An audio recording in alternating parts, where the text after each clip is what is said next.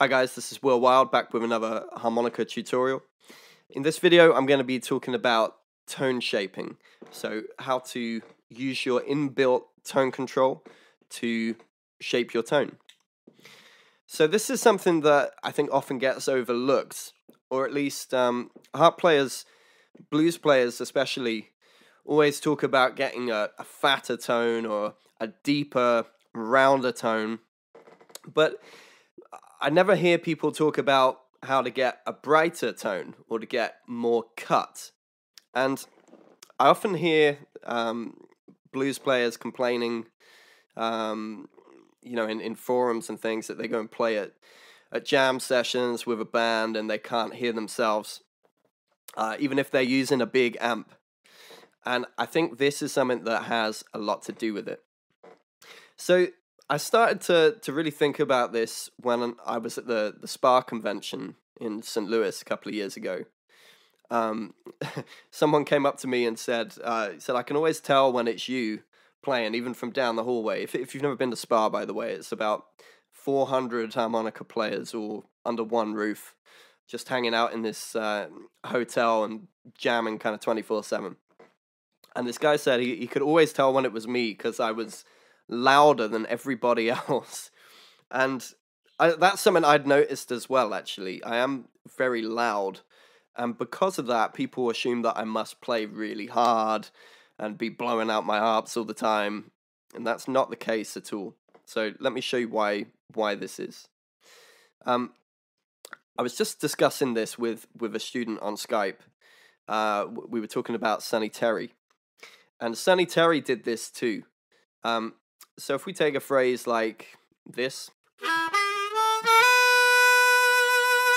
So, you know, someone like Sonny Boy Williamson, um, he would have played it tongue blocked, but he, he would approach it something like that. You know, James Cotton might have gone. But Sonny Terry would play that more like this. Okay. Now, can you see how much brighter that draw 4 is? So, as opposed to...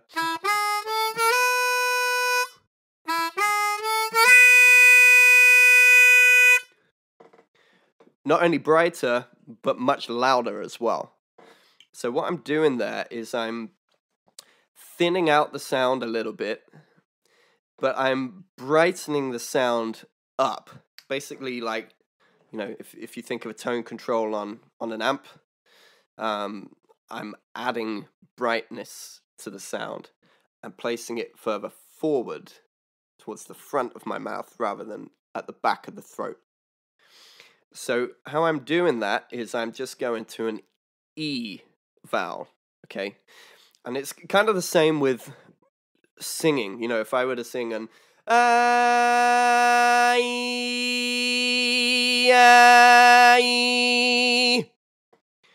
it's the same note, but the E is brighter and has more cut to it because when you switch to E, your tongue raises, the space inside your mouth becomes a bit smaller, and the sound or the, the placement of the resonance moves forward.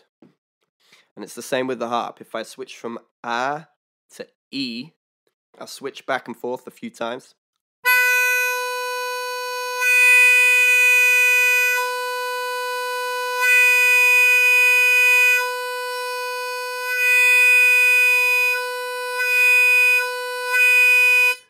Okay, so if I put this up on the screen here, you can see not only is it brighter, but it's about twice as loud. um, and I'm not using any more effort. I'm not playing any harder. I'm just shaping the tone and making it brighter.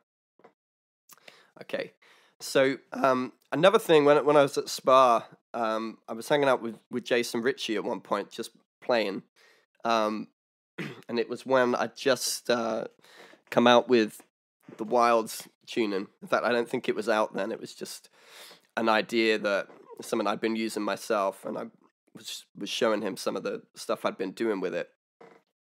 Um, this kind of and he said, "Oh, it sounds, it kind of sounds like you're amplified." And I, I was just playing acoustically outside, and that again, it's to do with this this E vowel forward bright placement. Um, remember, the volume should come from resonance, not from using lots of force or lots of air. You want to get keep relaxed and feel feel the sound resonate. Let the sound happen rather than make it happen. So with these high notes like I'm using on, on my tuning here, what I found is if I brighten the sound up with this forward placement and this this E vowel shape, and then bring in my vibrato, this starts to happen.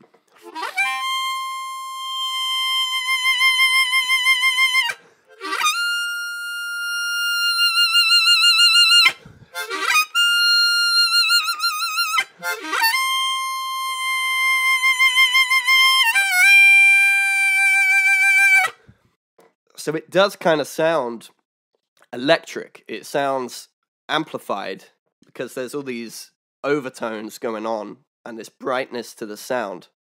And that all gets enhanced when you bring in the vibrato as well. Um, so it's just something I thought I'd share with you. Um, like I said, I've I've heard a lot of harp players discussing tone before, but always going the other way, getting a, a darker kind of that kind of deep bassy tone, which is really good for certain things. Um, for my music, which is you know kind of hard rock these days, that doesn't work because it just doesn't cut through the mix. So give this a try. This brighter sound. Um, it's good to learn the extremes. So getting a really